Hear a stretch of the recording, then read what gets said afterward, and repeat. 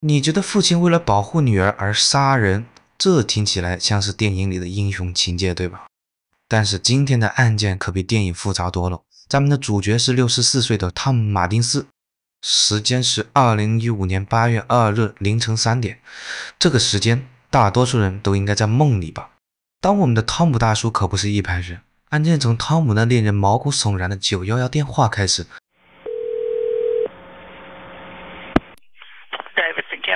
911, what is the address of your emergency? We need help. Okay, what's going on there? Um, my son-in-law um, got in a fight with my daughter.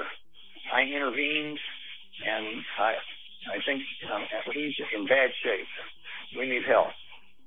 Okay, what do you mean he's in bad shape? He's hurt? He's, he's bleeding all over, and I, I may have killed him. He can show you how to place your hands, but I need you to stay calm. I'm, I'm certified. I, I just can't think. Okay, you have to stay calm. Let your training take over. Two, Four. three, four. One, two, three, four. Good. Two, One, three, two, four. three, four. One, two, three, four.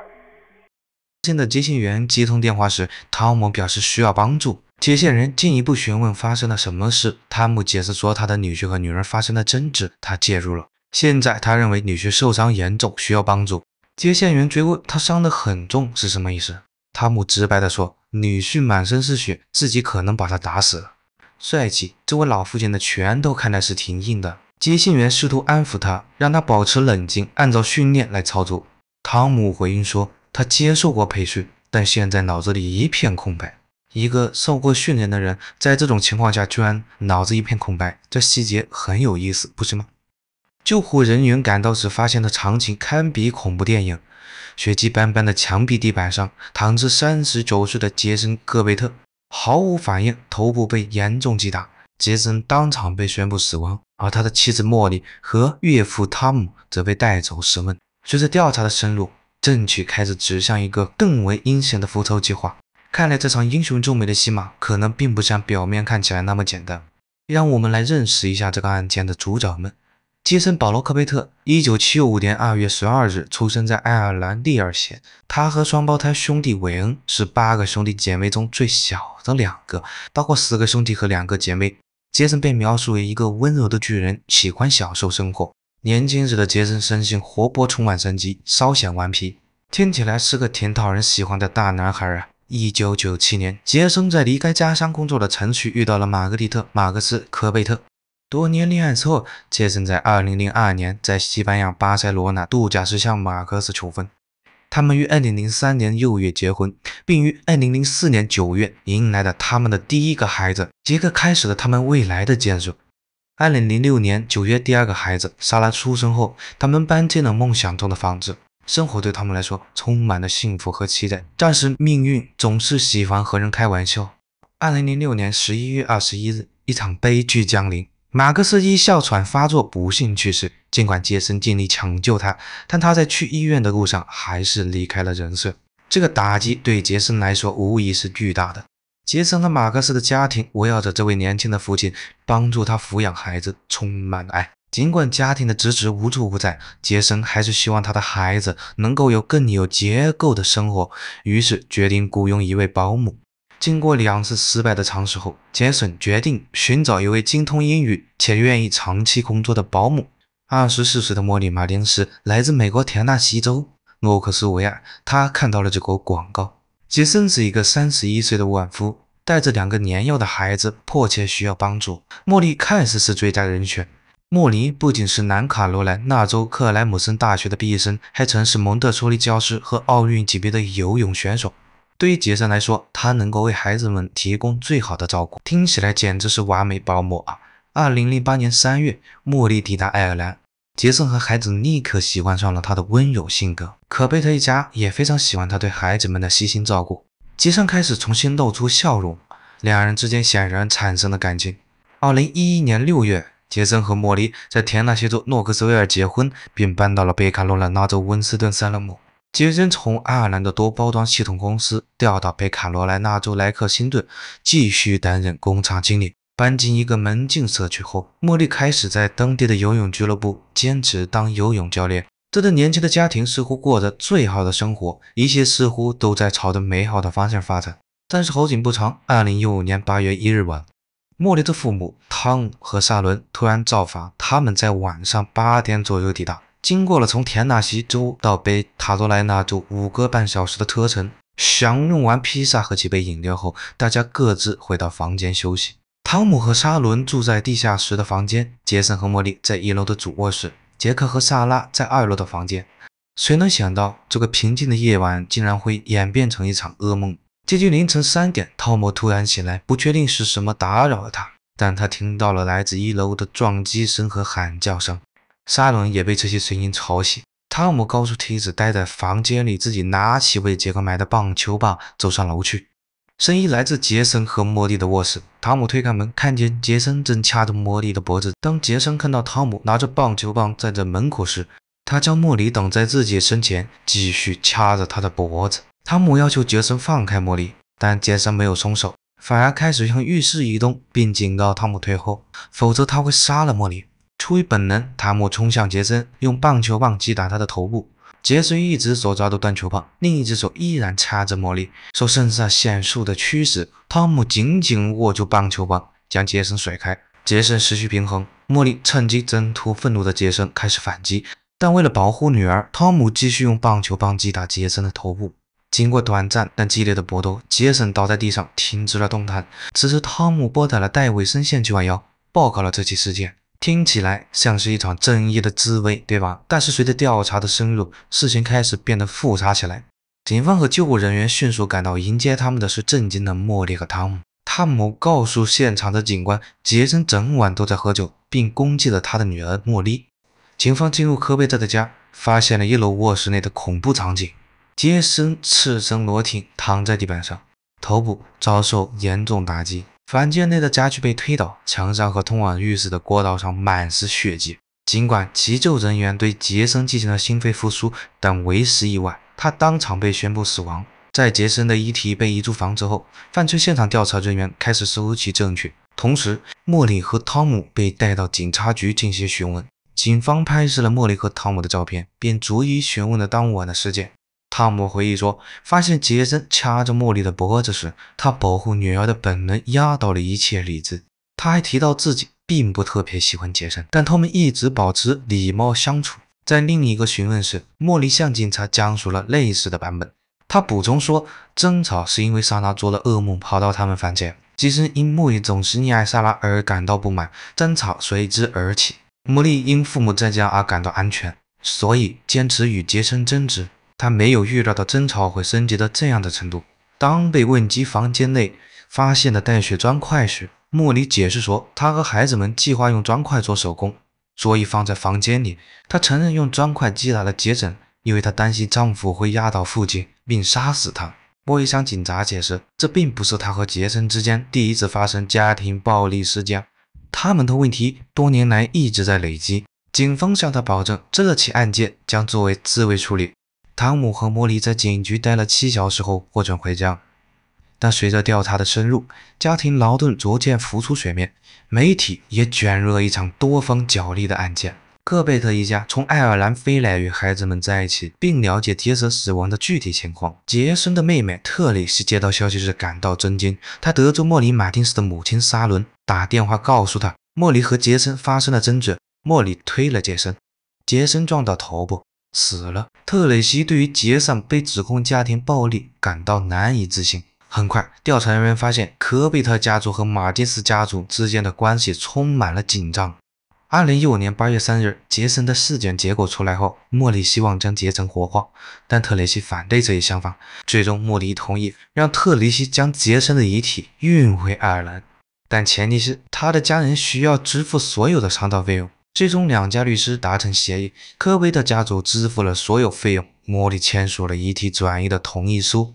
与此同时，莫莉和特雷西之间的监护权争夺战也在进行。杰森去世后几天，莫莉争夺了杰森的遗嘱，遗嘱中将杰克和莎拉的完全监护权授予特雷西和她的丈夫。法庭也支持了杰森的心愿，最后特雷西赢了，科贝特一家返回了爱尔兰。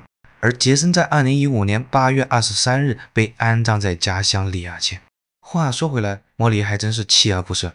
多次想联系孩子们，甚至通过社交媒体和爱尔兰的报纸、电台求助，但结果都扑街了。他的个人生活迅速成为了媒体的焦点。真是没想到，连吃瓜群众都关注起他来了。认识杰森的人纷纷站出来说，他不是莫莉描述的那个暴力狂，而是个浪漫又爱家的绅士。纳克斯的家人也否认曾指使着杰森对他的死负责。这可是汤姆在警察初次审讯时提到的说法，真是一个大反转。不过，莫迪的朋友们有不同的说法。他们告诉记者，杰森控制欲很强，莫迪对他们搬到北卡罗来纳州后的生活很不满。邻居们也表示，这对夫妇表面上看起来挺幸福的，但有时会有摩擦。莫莉有时还会在社区聚会上嘲笑杰森的体重，这导致了不少激烈的夫妻吵架。调查人员回顾了杰森的尸检结果，发现了一些疑点。法医克雷格纳尔逊博士确认杰森因头部钝器伤致死，但无法确定他头部受了多少次重击，估计至少有十二次，主要集中在后脑。这样，调查人员质疑莫内和汤姆为何需要对一个背对他们的人进行自卫。更离谱的是，毒理包盒显示杰森体内有微量的曲唑酮，这是一种强效抗抑郁药和助眠药。莫莉和汤姆坚持说，杰森在争吵前大量饮酒，但杰森的酒精水平对于他这个体型的人来说并不高，不会影响认知能力。调查人发现，2015年7月30日，莫莉曾被开过这种药物的处方，这就有点耐人寻味了，不是吗？血迹专家指出，血迹模式与汤姆和莫莉的陈述不一致。墙上的几个凹痕表明，棒球棒可能在汤姆试图击退杰森时击中了墙壁，但也可能是杰森已经倒地或接近地面时被击中的。血迹的高度表明，杰森在被击中时可能是跪着或躺着。如果他站立着被击中，血迹会喷溅得更高，甚至到达天花板。专家还研究了莫莉的睡衣裤和汤姆的内裤上的血迹，认为血迹模式表明两人在杰森被击中时站在他上方。床单和枕头上的血迹也表明，杰森在被击中前可能还躺在或坐在床上。急救人员初次评估杰森时，发现他的身体已经凉了，似乎求助电话被延迟。尽管汤姆和莫迪声称曾对杰森进行心肺复苏术，但他们的衣服上并没有多少血迹。检方拍摄的照片显示，汤姆和莫迪都没有受伤的迹象，这与他们描述的激烈搏斗不符。虽然调查人员无法完全确定科贝特夫妇的婚姻状态，但他们对这位说法产生了怀疑。三人是家中唯一的另一位成年人，尽管楼上发生了激烈的争吵，他却没有上楼查看，这令人怀疑。电话记录显示，茉莉的父母在意外造访之前曾多次与他通话，进一步引起了调查人员的警觉。此外，杰森的笔记本电脑在警方搜查时消失了。而萨拉提到，他看到父亲在事发前一天晚上还在使用电脑。调查人员希望通过笔记本电脑验证特雷西的说法，即杰森正计划带着孩子们回爱尔兰。杰森的邻居也提供了与莫莉和汤姆说法相矛盾的证词。邻居描述2015年8月1日下午，他和杰森一起修剪草坪，然后享受了几杯啤酒。邻居描述杰森情绪很好，但并未喝醉到会大发雷霆的地步。这一说法与茉莉和汤姆关于杰森醉酒的陈述形成了鲜明对立。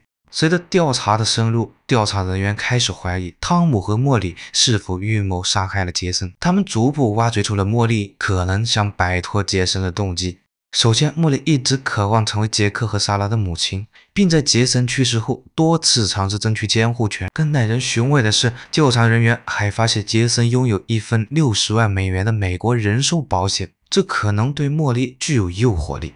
但最具杀伤力的证据是犯罪现场的照片。专家们认为，这些照片显示杰森在被袭击时处于俯卧位置，无法对汤姆或茉莉构成威胁。检察官利用这些信息，成功的对汤姆和莫莉发出了逮捕令，并以二级谋杀和过失杀人罪指控他们。二零一五年十二月十八日，汤姆·马丁斯和莫里克·贝特被捕，两人均不认罪。他们各自缴纳了十九万美元的保释金，并于二零一六年一月四日获释。汤姆和莫里的联合审判于二零一七年七月十七日开始。辩护团队依靠父女俩的自卫说法，但他们无法使用杰克和萨拉在杰森去世后所做的陈述，因为孩子们自搬到爱尔兰后撤回了这些陈述。辩方还决定让汤姆而非莫里作证。在证词中，汤姆向陪审团描述了杰森被杀的那晚，他描绘了自己和茉莉面对愤怒的杰森时的恐惧和危险。他坚称自己必须用尽全力才能击退杰森，保护自己和茉莉。他确实觉得杰森会杀了他，觉得他们两人的生命都受到了威胁。他尽其所能，你一旦控制住了棒球棒，他就打杰森，直到他认为威胁已经消除。控方则集中火力在汤姆的证词上指出，汤姆和茉莉在袭击后拍摄的照片中没有受伤迹象。尽管汤姆描述了一场激烈的生死搏斗，检察官还补充道。以杰森的体型，不可能在搏斗中不对被告造成任何伤害。此外，犯罪现场的照片和血迹专家以及法医的证词也被控方依赖。血迹专家将现场描述为过度杀戮。二零一七年八月九日，陪审团经过四小时的商议后判定汤姆和莫林二级谋杀罪名成立，并分别判处二十到二十五年监禁。听到判决后，汤姆非常冷静，而莫莉则哭泣并向母亲请求原谅。然而，这并不是案件的终结。辩护团队对陪审团的裁决提出上诉，声称初审中存在陪审团不当行为。他们认为陪审团在媒体影响下对莫莉形成了偏见，并且一些陪审员承认曾私下投了案件。虽然上诉被驳回，但辩方并未停止努力。在二零二一年，北卡罗来纳州最高法院允许重审，并且汤姆和莫里获得释放。重审定于二零二三年十一月进行。在重审中，汤姆和莫里同意认罪协议。根据协议，二级谋杀指控被取消，汤姆认罪过失杀人，而莫里则不对过失杀人指控进行抗辩。这意味着他既不承认也不否认对杰森之死负责。此时，辩方能够使用孩子们的陈述，并辩称他们搬到爱尔兰后才撤回这些陈述。辩方还播放了一段杰森和茉莉的争吵录音，重点突出了对茉莉的家庭暴力指控。杰克和莎拉出席了审判，并恳求法官不要减轻茉莉的刑期，不要再次被他所迷惑。经过长时间的讨论，汤姆和茉莉的刑期被大幅减至四年，且考虑到他们已在监狱中度过的时间，最终于二零二四年六月获释。但条件是他们不得共同生活在同一屋檐下。杰森·科佩特的案件，没有人真正知道这种关系中是否存在家庭暴力。但是莫里则进行煤气灯效应操控，这最终是留给观众去决定的。但鉴于所有的证据和复杂情况，我们希望听到你对今天案件的看法。你觉得这是自卫还是谋杀？欢迎在评论区分享你的看法。别忘了订阅鼠哥的频道，点赞并分享本视频。